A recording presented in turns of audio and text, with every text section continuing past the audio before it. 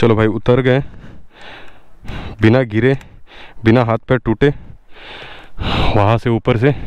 अब चल दिए नीचे की तरफ़। अभी हम लोग जाएँगे Kashid beach. And we explore थोड़ा बहुत काशिद जितना हो सके उतना पॉसिबल रास्ते में ही है। और उसके बाद then as soon as possible we have to go to our hotel या फिर होम स्टे बोल सकते हैं। क्योंकि टाइम हो चुका है दस बज के पंद्रह मिनट।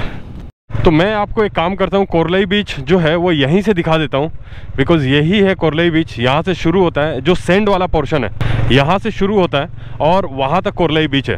तो यहाँ पे मोस्टली ज़्यादा फिशरमैन जो आ, फिशिंग करने के लिए आते हैं वो लोग ही रहते हैं ज़्यादा। अगर आप देखोगे तो यहाँ पे टूरिस्ट बहुत कम दिखेंगे आपको। तो ये देखिए ये है पूरा कोरलई बीच। तो हम लोग नीचे नहीं जा रहे हैं because there is no point going down यहाँ से सब कुछ दिख ही रहा है। हाँ सेंड पूरा सफ़ेद है। तो आप एंजॉय कर सकते हो, लेकिन यहाँ पे पत्थर है। पूरा का पूरा पत्थर है तो वो आपको कभी भी ज़ख्म पहुँचा सकता है, अगर आप थोड़ा भी अगर केयरलेसनेस दिखाए आप समंदर में तो। यहाँ पे आप देखोगे तो लोग सूखा मच्छी जो रहता है, झींगा बोलते हैं, क्या बोलते हैं पता नहीं। झींगा बोलते हैं शायद, सूखी हुई मच्छी, उसको धूप में ड्राई करके ये बोरी में भरा जा रहा है, और फिर ये मार्केट में जाता है बिकने के लिए। तो ये है वो गाँव।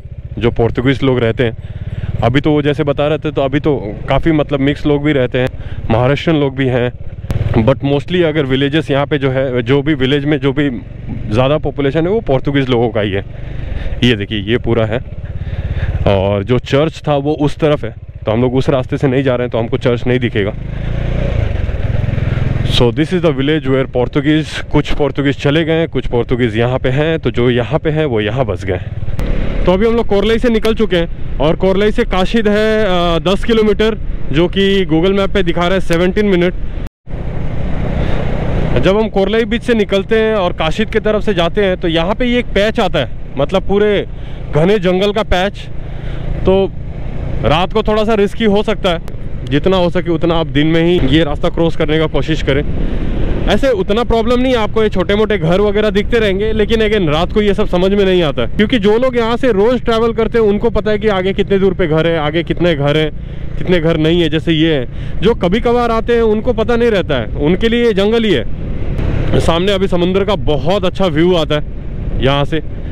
तो अगर आप आ, देखा जाए तो अलीबाग से जब से हम निकलते हैं तब से ही समंदर हमारे साथ साथ चलते रहता है। लेकिन कोरलई फोर्ट कोरलई वाला जो बीच है वहाँ का अगर आप गाँव का अंदर रास्ता ले लिए तो वहाँ से आपको काशिद बीच जाते वक्त तक पूरा एकदम आपके राइट साइड में ही बीच रहेगा। तो आप ऐसे ये पूरा देख सकते हो ये पूरा बीच है ये एक दो पेड़ है इसकी वजह से दिख नहीं रहा है। तो आप ये पूरा ऐसे देखते देखते देखते देखते जा सकते हो ये देखिए। तो यही है वो कोरलई वाला जो रोग बीच या फिर काशिद रोग बीच भी बोल, बोलते हैं इसको। यहाँ पे पूरा पत्थर ही है भाई साहब। ये देखिए, पूरा पत्थर, सिर्फ़ और सिर्फ़ पत्थर। ये काशिद रोग बीच बोलते हैं एक्चुअली इसको। कोरलाई वाला रोग बीच वो था, ये काशिद रोग बीच है। ये पूरा का पूरा पत्थर ही है। ये भी एक पैच है जो आप बहुत एंजॉय करोगे। अगर आप बाइक से आ रहे हो या फिर कार से आ रहे हो डजेंट मैटर बहुत एंजॉय करोगे ये इतना दूर का रास्ता। काशिद पहुँचने के पहले तक। काफ़ी खूबसूरत, काफ़ी ग्रीनरी लश ग्रीनरी मतलब बारिश नहीं है, फिर भी इतना पूरा एकदम ग्रीन बारिश रहता तो ये जितने भी आपको येलो सफ़ेद जो पत्ते वत्ते दिख रहे हैं, वो भी पूरा एकदम लश ग्रीन हो जाता। पेड़ लंबे लंबे, ये खूबसूरत लग रहे हैं, और काशिद बीच काशिद हमारा हो गया शुरू यहाँ से। काशिद ये देखिए काशिद का यहाँ से बाज़ार पूरा शुरू हो जाता है मेला। दुकान उकान आप गाड़ी यहाँ पे पार्क कर सकते हो, कपड़े उपड़े खरीद सकते हो, जो भी खरीदना है।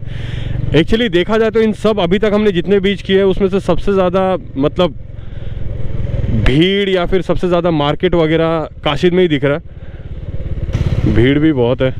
गाड़ियाँ तो मतलब सुबह सुबह हमें लगा था कि भीड़ कम रहेगी, लेकिन भीड़ बढ़ गई है। कहाँ से जा सकते कहीं से भी जा सकते शायद?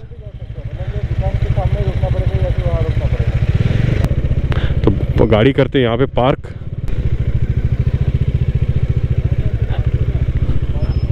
हाँ? क्या?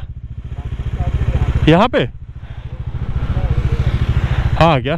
तो फिर तो दुकान के पास ही लगा देते हम लोग को तो थोड़ी देर के लिए जाना है। चलो। तो यहाँ पे किधर भी लगा देते हैं। उसके बाद बीच पे जाते हैं और घूम के आते हैं।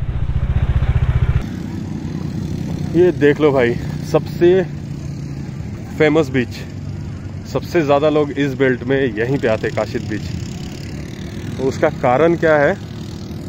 उसका कारण है ये रेत पूरा सफ़ेद बिल्कुल भी मिट्टी नहीं. और यहाँ पर एक्टिव स्पोर्ट्स भी होता है. हाँ? नहीं नहीं नहीं. क्या चार्जेस है? दो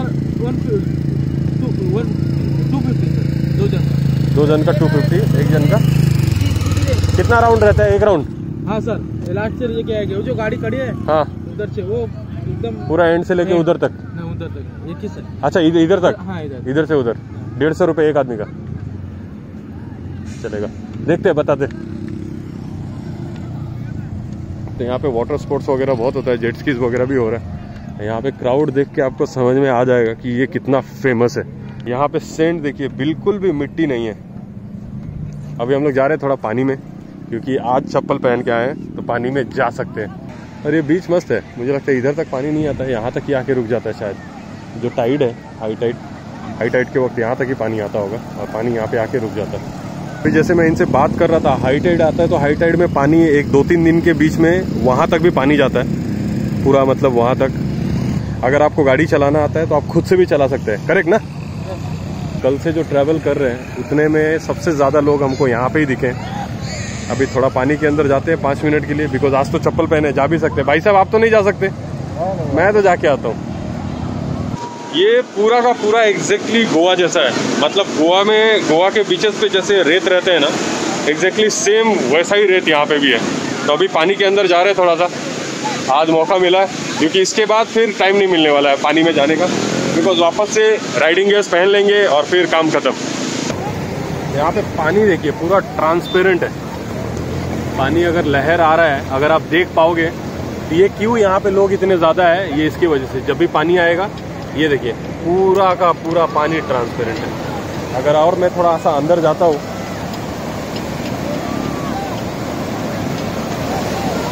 हो हो हो हो। ये देखिए, हो गया पूरा पानी ट्रांसपेरेंट जब तक पीछे का पानी आता नहीं है, ये देखिए, पूरा शेल वगैरह सब कुछ दिखने लगता है। टाइड भी मतलब उतना ज़्यादा नहीं है बट अच्छा है मतलब खेलने लायक टाइड है। बहुत उम्दा। यहाँ पे मस्त खाने पीने के लिए भी पूरा बना हुआ है। यहाँ पे आके आप फ़ूड भी एंजॉय कर सकते हो। सामने समंदर का व्यू और फिर नारियल पानी। और जो नाश्ता है वो हमने यहाँ पे ही ऑर्डर कर दिया। थोड़ा सा समंदर का एंजॉय भी हो जाएगा। टाइम भी स्पेंड हो जाएगा समंदर के किनारे। और यहीं पे नाश्ता भी हमने ऑर्डर किया है। वड़ा पाव, मिसल पाव उसके बाद देखेंगे और क्या क्या खाना है। नारियल पानी के बाद अंदर जाएगा चाय जो कि दो दिन से मिला नहीं है। और उसके बाद फिर हमारा शरीर वाला जो इंजन है वो आगे बढ़ेगा। ये आ गया भाई साहब हमारा चाय। अब आएगा मिसल पाव और वड़ा पाव। ये आ गया हमारा आज का नाश्ता मिसल पाव। और ये भाई साहब अभी तक वेट कर रहे हैं ताकि इनका वड़ा पाव कब आए और कब इनके पेट में वड़ा पाव जाए। अब तक लिक्विड ही गया अंदर। सॉलिड जाना बाकी है। जाने का है। चलो भाई, यहाँ से निकलते हैं अब। यहाँ से आठ किलोमीटर है हमारा होटल और आठ किलोमीटर के लिए टाइम दिखा रहा है ग्यारह मिनट। तो वहाँ पे जल्दी से जल्दी भागते इधर है।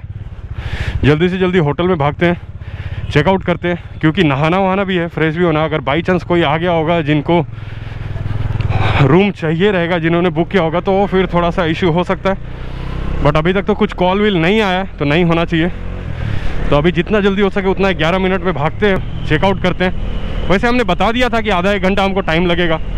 तो इतना कुछ इश्यू तो नहीं होगा, लेकिन अगर हाँ कोई आ गया होगा चेकिंग करने तो फिर थोड़ा सा दिक्कत हो सकता है। से जो नंदगांव बीच है, जहाँ पे हमारा होटल भी है, वो दस किलोमीटर पे। मतलब हमारे होटल से एक आधा डेढ़ दो किलोमीटर आगे है। और उसके लिए आपको टाइम आराम से पंद्रह से पंद्रह से अगर काशी से आप जा रहे हो तो पंद्रह से बीस मिनट लग सकते हैं आराम से। एलेवन फोर्टी एट हम लोग एक घंटा फोर्टी एट मिनट सिर्फ़ फोर्टी एट मिनट लेट है, जो कि हमने बताया था इनको। तो हम लोग आ चुके हैं। अभी पूरा यहाँ से सामान वामान पैक करते हैं और निकलते हैं रेडी होके नंदगांव बीच के लिए।